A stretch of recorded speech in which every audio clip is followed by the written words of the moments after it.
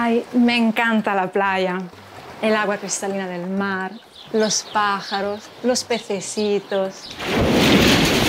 Pero ¿qué pasa? Estos monstruos de cemento se están cargando estos bonitos lugares y son un verdadero cáncer para el ecosistema. Pero yo hoy os voy a hablar de otro tipo de cáncer.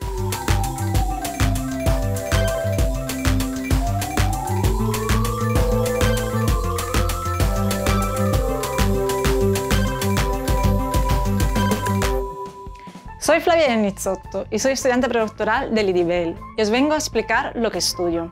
¿Habéis visto cómo la construcción masiva está destruyendo el medio ambiente? Pues imaginaros cuántos problemas podría traer la construcción incontrolada de células en nuestro cuerpo. Esto es lo que más o menos pasa cuando se desarrolla un cáncer. Las células proliferan hasta destruir órganos perfectamente funcionales. ¿Y qué podemos hacer para parar todo esto? Bueno, la solución más simple y la que seguro se os ha ocurrido a vosotros también es la de tirar por abajo todas las construcciones de cemento.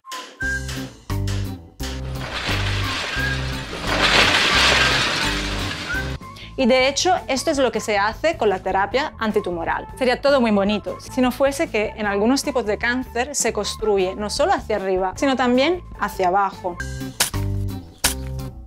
O sea, se construyen almacenes subterráneos que no se ven y contra ellos la terapia no es muy efectiva. Bueno, me preguntaréis, Flavia, ¿y qué molestias dan los almacenes subterráneos? Y es que justo guardan las maquinarias de construcción. Así que si no nos cargamos a ellos también, se volverá a construir y de manera rápida encima. En el cáncer colorectal que yo estudio, estos almacenes tienen el nombre de la proteína LARP1. Lo que LARP1 guarda son los tránscritos que darán lugar a los ribosomas, la maquinaria que produce proteínas y permite a las células de crecer. Fin del apunte. Ahora, imaginaros la rabia, cuando una vez destruido todo, las construcciones de cemento vuelvan a aparecer. O sea, que después de una terapia antitumoral efectiva, el cáncer vuelva a aparecer lo que se llama una recidiva. Es por esto que yo estudio cómo la 1 regula el almacenamiento de la maquinaria para el crecimiento celular, para poder cargarnos a estas reservas también. ¿Y cómo?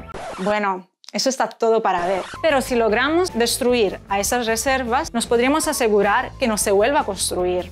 Así que yo confío en que en algunos casos, destruyendo esos almacenes LARP1 después de una terapia antitumoral, el cáncer no vuelva a crecer. Por eso yo ahora voy al laboratorio. Vosotras disfrutad de la playa.